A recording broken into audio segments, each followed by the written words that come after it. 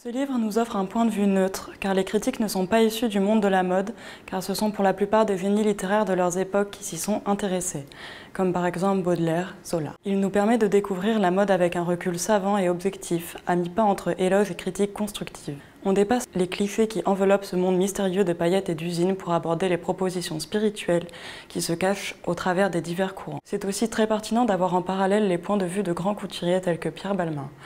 Plus qu'un avis, on appréhende leur vision de la mode, la manière dont doivent se dérouler les événements en leur sens. Cela permet de lire avec plus de facilité leur travail. Les sujets sont très vastes et touchent de grandes questions existentielles telles que la place de la femme et l'intérêt de la beauté, omniprésente et nécessaire au bien-être de notre société. Ils vont au-delà de la mode et de son appréciation, car on essaie de la saisir dans tous ses détails et ses dilemmes.